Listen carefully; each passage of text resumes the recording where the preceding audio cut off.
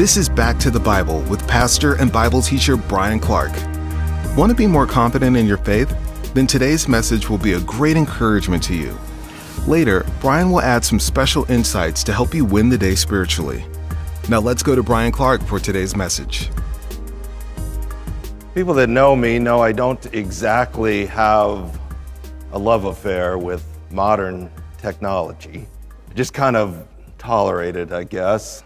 It isn't just that I don't know, it's that I don't even know what I don't know. And I think that's how a lot of people feel about religion. Really, when you think about it, how confusing could this be? You have all these world religions that make contradictory truth claims. And even if you boil it down to Christianity, you have all these denominations and you have all these differences, and you have counterfeit churches and you have Christian churches, and some people feel that way. I don't even know what I don't know. And I can fully appreciate that. We've been working our way through John's letter. At the end of his letter, his conclusion is here are a handful of things you need to know in order to experience confidence in your relationship with God. If you have a Bible, turn to 1 John chapter 5. Fairly obvious as you go through this final text that John's favorite word in his conclusion is the word know, K N O W. But this is not the word know that's a familiar Greek word to know intimately or to know through experience often used to describe, for example, the intimate relationship between a husband and wife. This is not that word. It's a different Greek word for know that carries more the idea to know for sure, to know with certainty. This is something we can absolutely know. We pick it up in verse 13. These things I have written to you who believe in the name of the Son of God, so that you may know that you have eternal life. Now, if you go to John's gospel, when he gets to the end of the gospel, he tells you he's written what he's written in his gospel in order that you might believe. Now, in his letter, he's writing to believers, and we've tried to keep that perspective all the way through the letter. And he says, I've written these things in order that you might know that you have eternal life. Now, this is important to understand because I think a lot of people would be under the impression you can't know that, that you don't really know that to the end of the day. And they kind of have this image of standing before St. Peter, and he opens this big book, and everybody's kind of holding their breath, and he looks through the list and he says, Who's in and who's out? And until that moment, you can't possibly know. That idea really comes from the idea that salvation is on the basis of some sort of religious performance. As long as salvation is on the basis of your performance, more good than bad, or, or somehow performing well enough, it is true, you couldn't possibly know.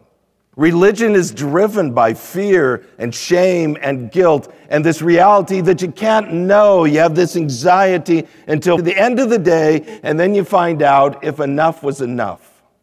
So, what is the basis by which John would say you can know?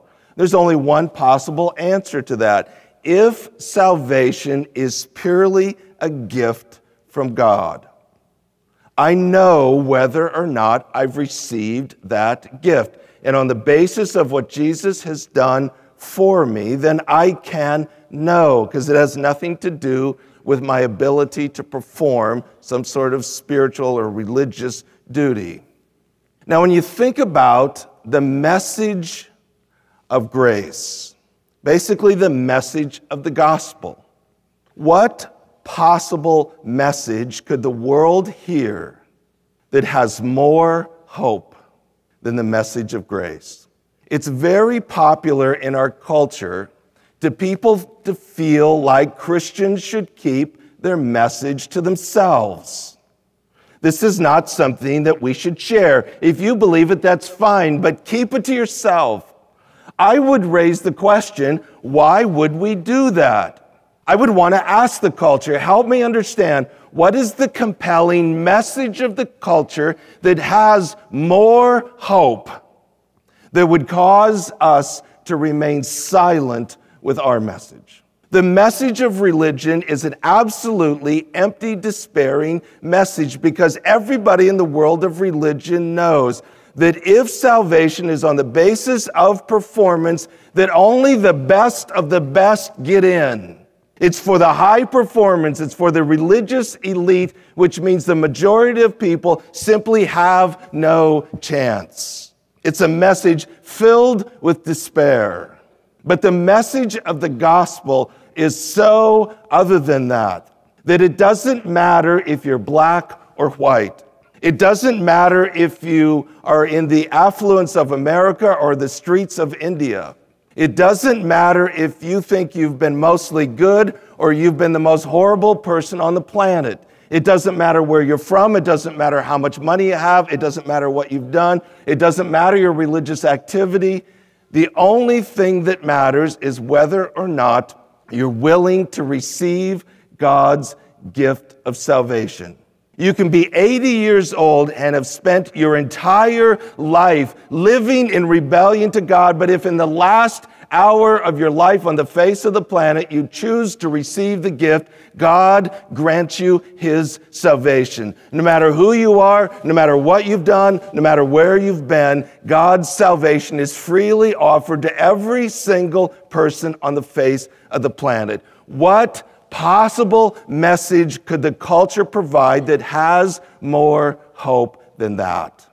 And if that's true, how could we possibly remain silent? Wouldn't our own moral conscience demand that we share this message of hope? These things are written in order that you may know that you have eternal life.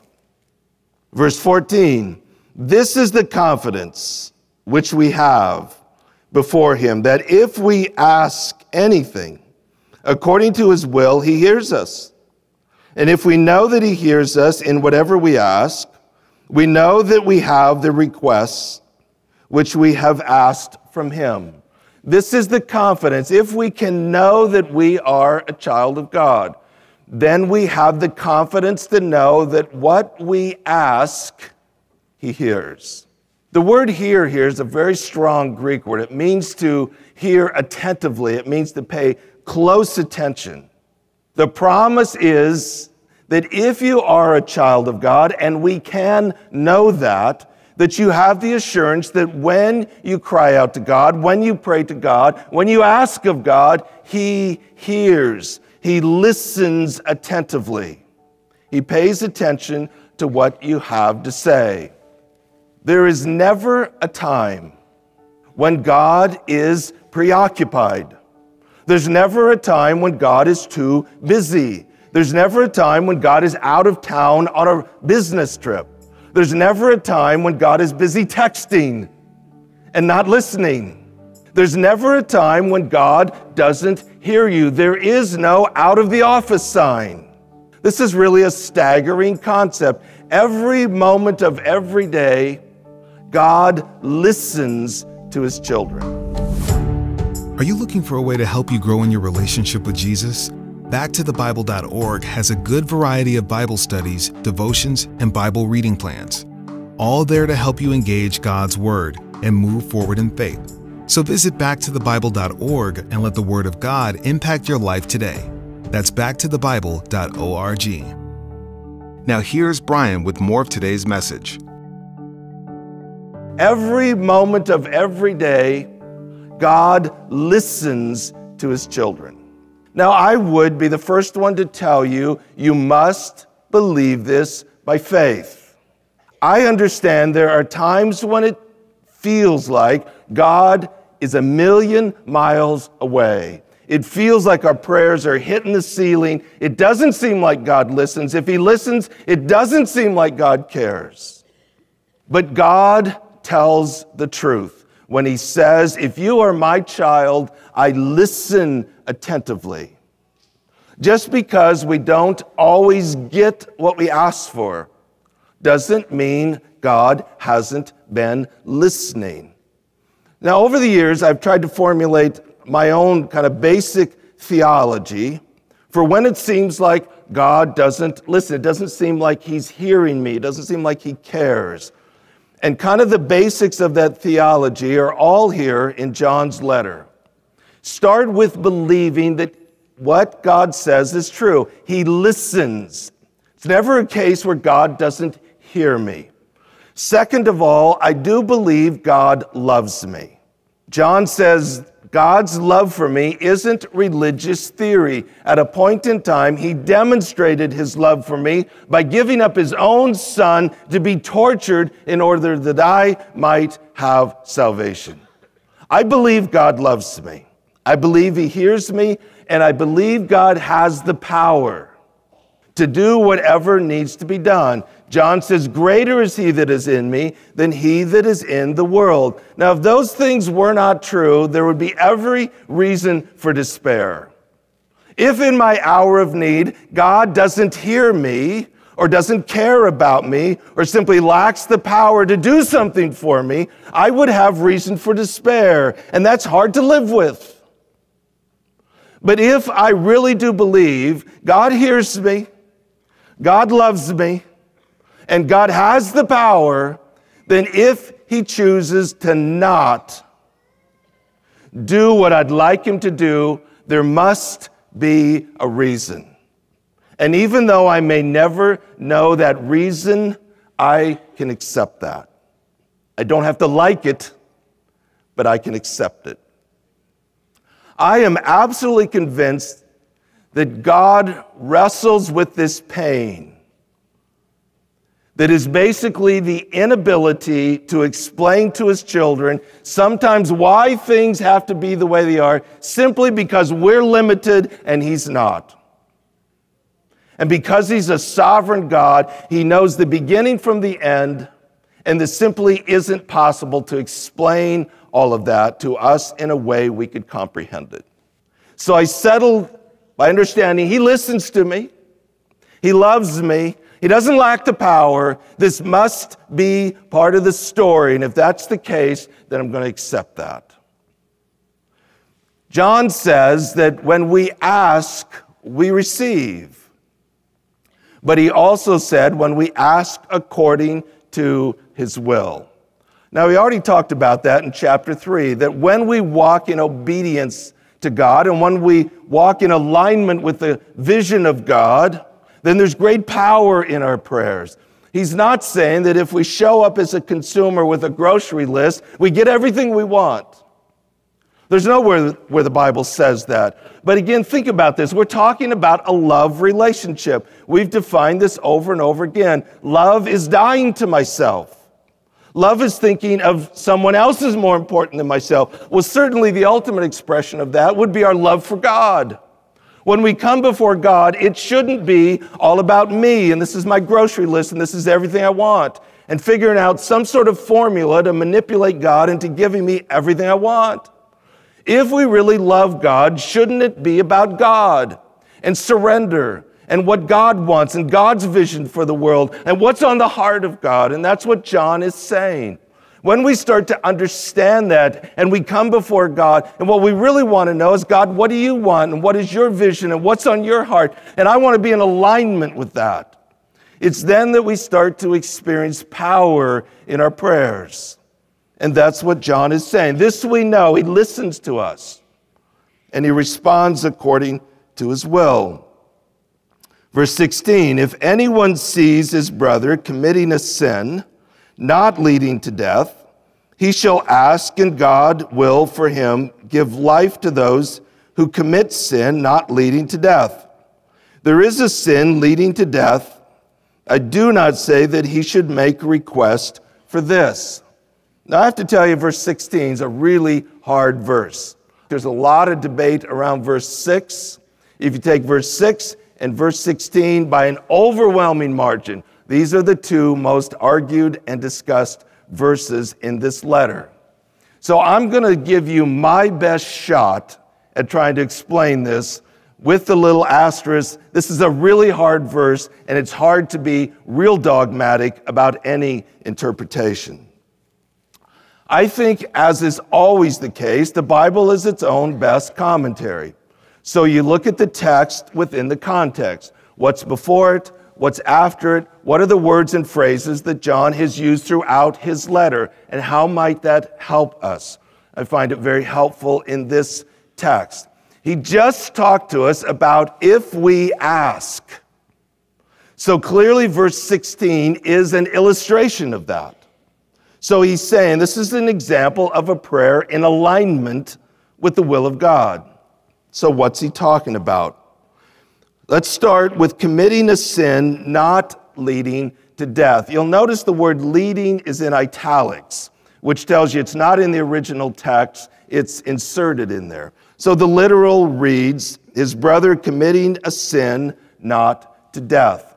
Now, when we read the words life and death, it doesn't necessarily mean salvation or not salvation. As a matter of fact, I think sometimes we take these texts and we want to reduce them down to in or out. And most of the biblical language isn't in or out. Life is a metaphor for the life of God, so death would be the, the opposite of that. If I live my life in sin as a Christian, I'm not experiencing life. Even though I have eternal life, I'm basically experiencing the consequence of my choices, which is more death. It's the absence of life. And I think that's what he's talking about here. So when he's talking about a sin not leading to death, I think he's talking about what he talked about in chapter 1 when he said, If we say we have no sin, we're a liar. Of course, we stumble and fall, but when we do, if we confess our sin, He's faithful and just to forgive us our sin and to cleanse us from all unrighteousness. So He's saying, sometimes we do blow it, sometimes we do stumble, and it convicts us and it grieves our heart. And there's something inside of us that says, That's not the way I want to live my life. That's not what I want to do. That breaks my heart. And we agree with God that it's sin and that's not the path of life. And we experience God's forgiveness. He cleanses us from all unrighteousness. That would be a sin not leading to death. In other words, it's a sin. We feel the conviction, we confess it, and we stay on the path of life. So the prayer that would be in alignment with the will of God has to do with if anyone sees, which means we actually see it, we become aware of it, a brother, which is a fellow Christian, brother sister in Christ. So, in other words, when I see a brother sister in Christ involved in some sin, what do I do?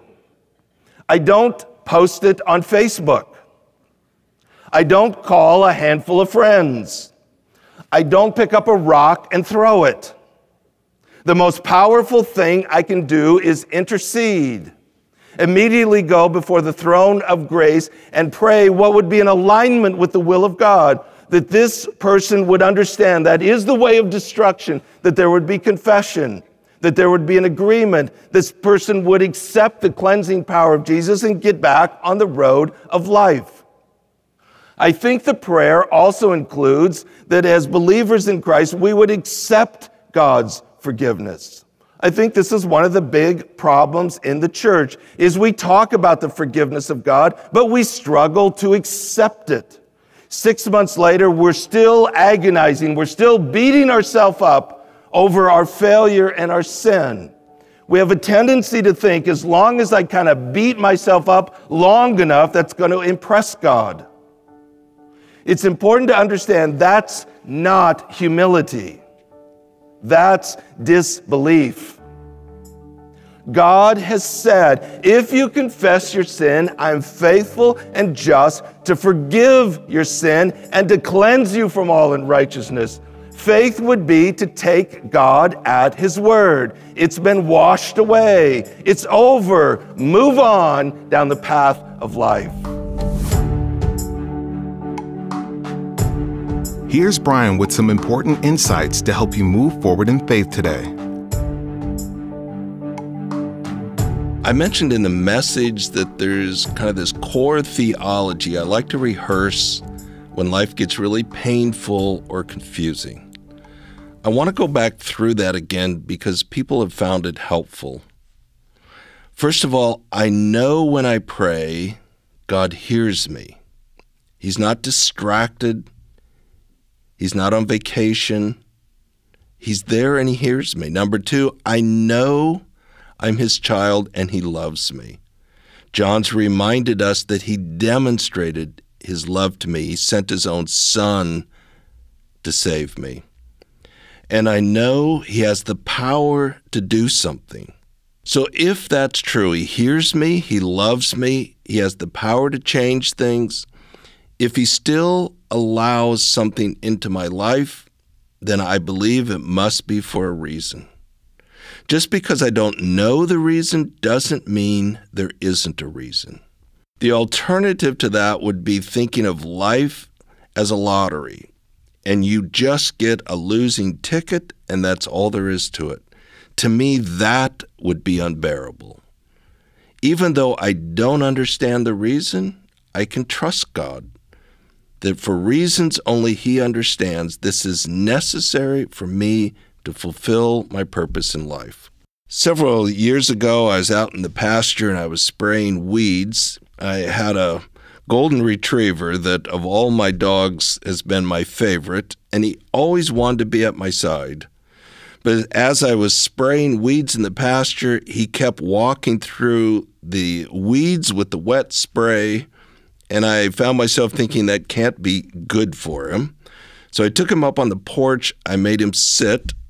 And pretty soon he came back out in the pasture, and I took him back, made him sit again, said it a little bit more strongly. And he just sat on the porch with those golden retriever eyes pouting. And I imagine he's thinking, Why did you have to do that to me? I just wanted to be with you. And I found myself frustrated with the fact that there was no way I could explain to a dog why I just did what I did. I did it in his best interest, but because he's a dog and I'm a human, there was no way to explain that. And I actually found myself wondering if that's how God feels. God knows the beginning from the end, He knows the story, and He knows why things need to be allowed in our lives. But because He's God and we're not, sometimes there's no way God can explain it in such a way that we'll understand it. All we can do is trust Him. Tomorrow we'll finish our study on 1 John. See you then.